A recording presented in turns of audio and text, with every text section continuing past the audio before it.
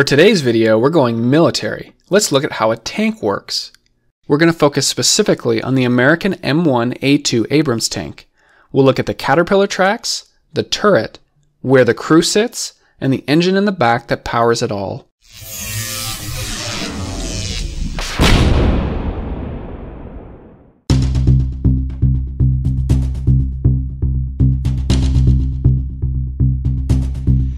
The M1 Abrams tank was introduced in the year 1980. The tank was named in honor of United States Army General Creighton W. Abrams Jr., who was a commander in the Vietnam War. The idea with the M1 Abrams tank was to keep it low to the ground so that it was harder to hit. Angled sides on the tank allowed enemy fire to deflect off the side.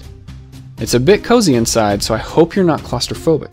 During operations, the crew may spend hundreds of hours inside with very little sleep. There are many versions of the tank. We have the M1, then came the M1A1, and then the M1A2. There's also minor variants of the tanks with many different enhancement packages.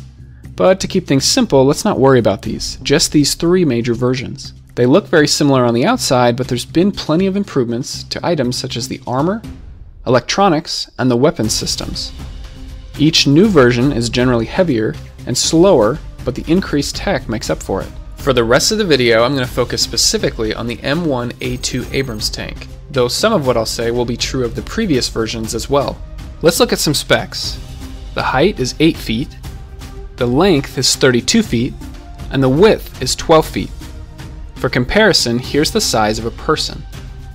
This tank weighs a whopping 68 US tons. That's equal to the weight of about 35 cars. Even with all of that weight, the tank is capable of speeds of up to 42 miles per hour. It has a fuel capacity of just under 500 gallons.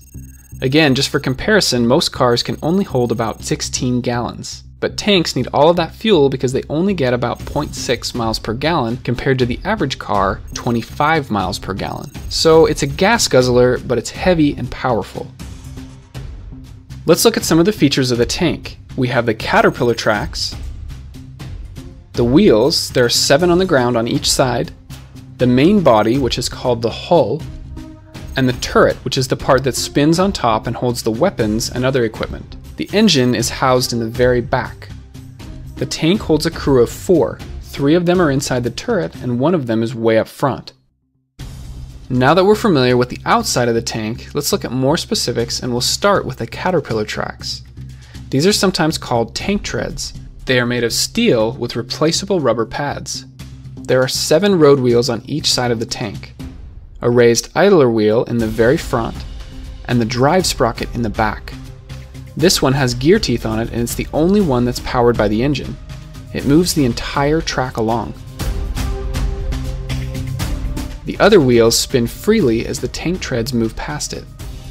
The road wheels also have suspension built into them, the whole reason we use caterpillar tracks is to allow the tank to go over some very rough terrain.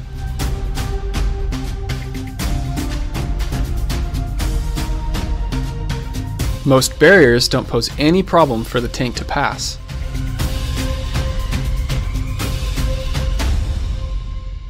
Regular vehicles with four wheels have limited surface area in contact with the ground. They can get stuck much easier that's why it's a good idea to stay on paved roads. The tank, on the other hand, has a much larger surface area to displace all of that weight. Obstacles in the way are usually not a problem. The tank can even climb some very steep hills.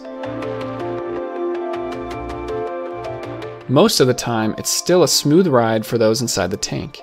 The tank is steered by altering the speed of the tracks. For example, to turn left, the right tracks need to move faster than the left tracks.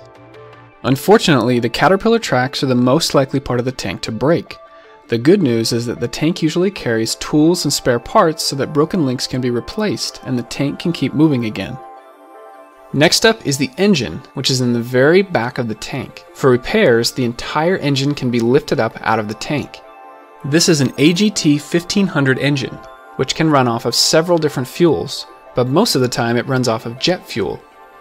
In your car, you'll find what's called a piston engine, with these pistons moving up and down to rotate the shaft.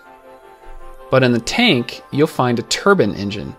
This one works a little bit more like a jet engine that you would find on an airplane. However, this engine is actually fairly quiet, which is really important so you don't give away the tank's position to nearby enemies. The engine gets very hot, so these two side cooling units will help remove the heat.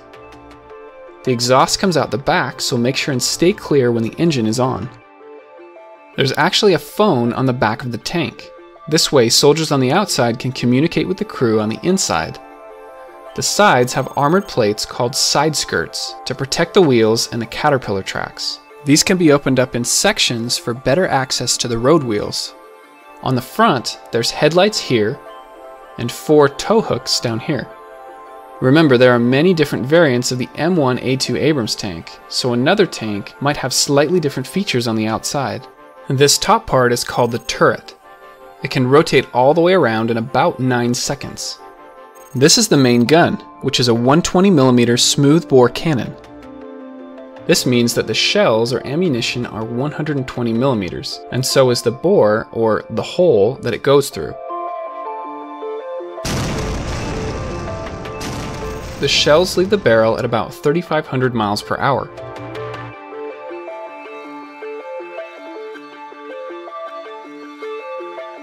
It can hit a target 2 miles away.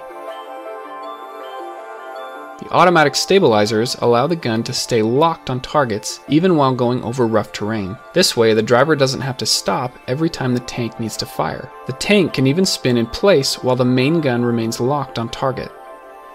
Right next to this is the smaller coaxial machine gun.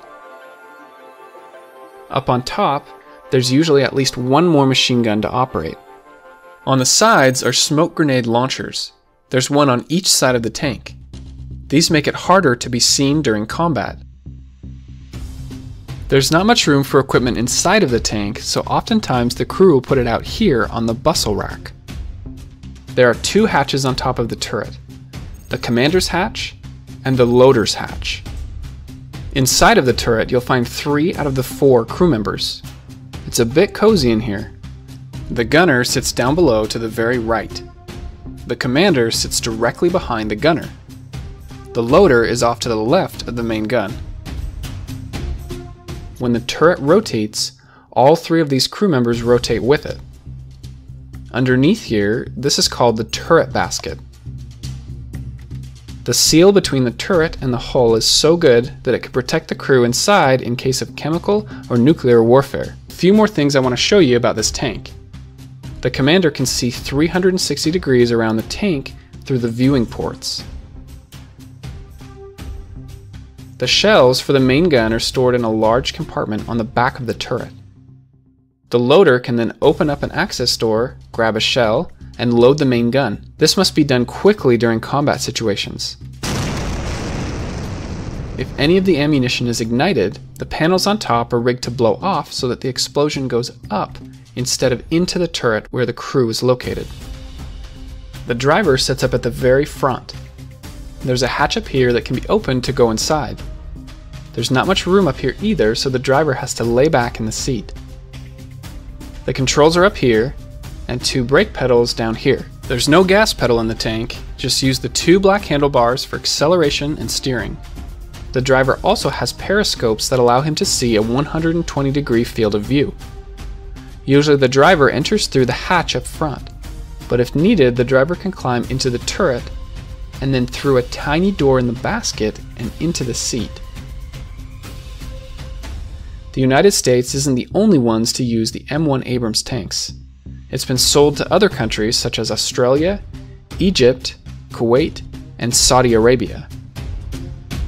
The M1A2 Abrams tank has been in use for almost 30 years now, at some point, it may be replaced, but for now, it continues to be the main battle tank for the United States military. My name's Jared, and I create 3D animations on how things work. Visit my YouTube channel for lots more animations just like this one. Go ahead and click on the link here, or click below to watch another.